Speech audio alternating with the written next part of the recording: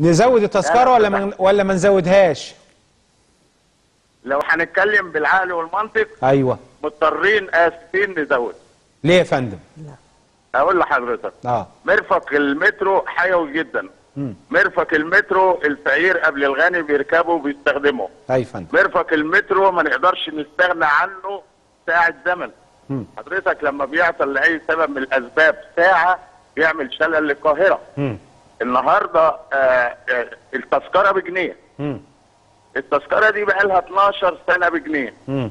أولا من حيث المنطق إيه في البلد كلها بجنيه مم. وإيه سعره ثابت بقاله 12 سنة مم. من الناحيتين مم. الحاجة الثانية إحنا نعلم تماما كمسؤولين قلنا إن إن ال- الجنيه ده ممكن يبقى مشكلة لبعض الناس كتير وإحنا عارفين ديت إنه معهوش حتى الجنيه مم. طيب إحنا مؤمنين بديت وعشان كده إحنا حساسين قوي لفكرة الزيادة. طيب النهارده لو المترو عطل مش اخونا اللي مش قادر يدفع جنيه هيطلع يركب توك توك ب 5 جنيه وميكروباص ب 2 3 5 جنيه. لنفس المشوار. طيب نحافظ على المترو ولا نسيبه يقع وكل يوم اعطاله نتيجة إن إحنا مش قادرين نغطي ثمن التشغيل فعلا. كام يا فندم أحمد. خسائرنا قد إيه؟ الخسائر في السنة اللي فاتت كنا داخلين الميزانية ب 180 مليون جنيه خسائر. لو استنينا للسنة دي بنفس ليه؟ المعدلات مش هتبقى آه، 400 ده هتبقى 500 كام؟ مليون. 500 السنة مليون السنة هتبقى دي. اسألوا ليه يا فندم؟ السنة دي لو 500 سبت- مليون؟ لا السنة اللي فاتت داخلين الميزانية الجديدة ب 180 مليون. آه. ليه؟ لازم. أنا بقول المتوقع. كام؟ لو فضلنا على الوضع ده كام؟ إحنا منتظر السنة الجاية تبقى تبقى 500 مليون. كام راكب بيستخدم المترو يوميا؟ 4 مليون. 4 مليون. هل ال 4 مليون 4 بيدفعوا؟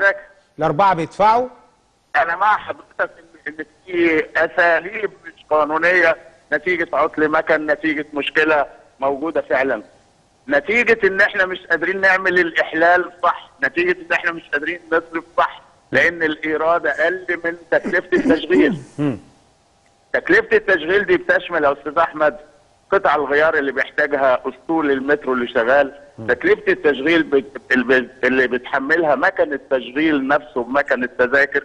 تكلفة التشغيل بيتحملها ال- أجهزة ال- الإشارات وأجهزة التحكم. تكلفة التشغيل ديت بيدخل فيها أجهزة التكييف وأجهزة الإنذار وأجهزة الحريق.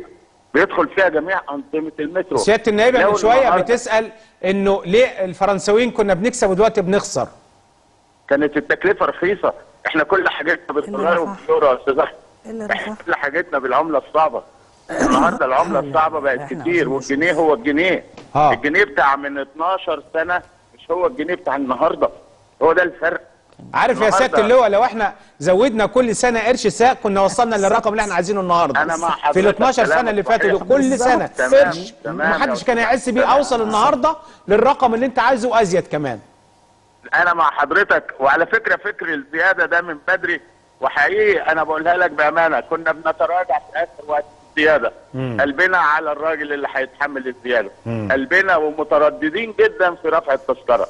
والعلم حضرتك والعلم الجمهور كله إن آخر حاجة بنفكر فيها كحكومة وكمسؤولين تحريك سعر التذكرة.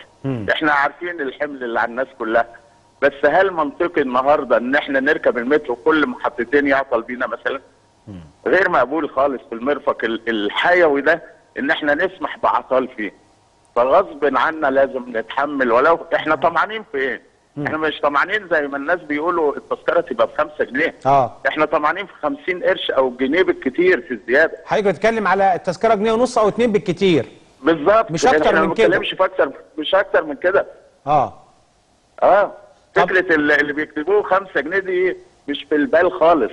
امم دي توفر آه. قد إيه؟ ال 50 قرش. على الأقل النهارده أنا لو بيجي لي 530 550 مليون جنيه في السنة هتتضاعف. لو زودت جنيه ال- الإيراد ده هيتضاعف. وإحنا ال- الأيام دي الهيئة والمسؤولين بيغيروا فعلا في مكن التذاكر عشان نحكم الدخول والخروج ونحافظ على الإيراد. بيجي لنا دخل. بيجي بيجي دخل قد إيه بصراحة كل سنة؟ التذاكر بتبيع قد إيه؟ 530 مليون. 530. حوالي 530 مليون. آه. بس ما يكفوش خالص. إحنا مش أقل من 750 مليون جنيه مصاريف كل سنة. مع مع سعر الدولار واليورو اللي بيتحرك النهارده دوت لا إحنا دخلنا في مليار جنيه. طيب. إحنا دخلنا في تكلفة تشغيل عالية. سيادة النائبة ليها استفسار عند سيادتك. اتفضلي. تحت أمرك. حضرتك بتقول في 4 مليون بيركبوا في اليوم. أيوه يا فندم. متوسط تذكرة ثمنها كام؟ بجنيه. جنيه.